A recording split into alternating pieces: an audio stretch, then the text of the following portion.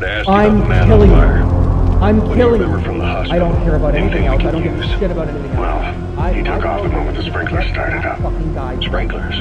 The fire system? Is no. And when he got sprayed with water from the burst pipe, it slowed him down. We escaped on horseback. He wouldn't cross the river either. And then it started to rain.